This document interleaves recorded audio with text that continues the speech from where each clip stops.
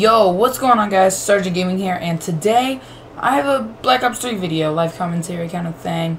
I don't know. Apparently there's some kind of specialist bribe thing.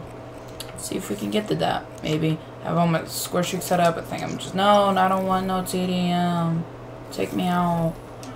I want to do free for all. Maybe I can get some chances for shot. I don't even have a trick shot class. Hopefully the mic quality sounds better. I'm not sure about that because I realized what you could like hear my fan. I, I think you guys can still hear my fan and whatnot. It's because I kind of had it like in between the one where it's like right in front where you can hear me, and I and like because my my my Blue Yeti's weird. It's like right in front.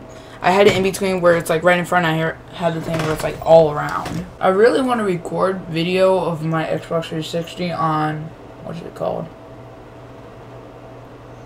MW2 or Black Ops 2, I'm actually going to go and play some af after this because, man, those games are lit. I don't know if you guys can see it. Oh, man, but I don't want to restart my Xbox and my second monitor doesn't work, so I don't know.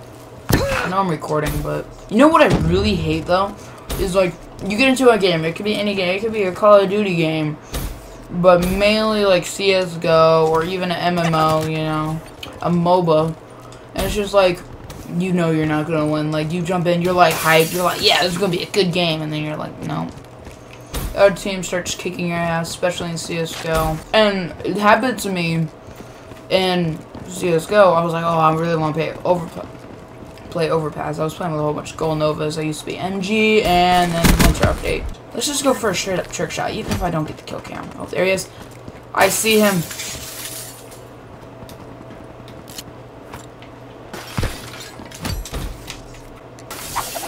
Oh! Oh, baby! Is that even kill cam, but I hit it. I wonder what that guy's like. Oh! You guys, I don't hit a lot of trick shots. I think it just feels cool, man. Get over here! I know that you're a clone, but I still want to kill you. No.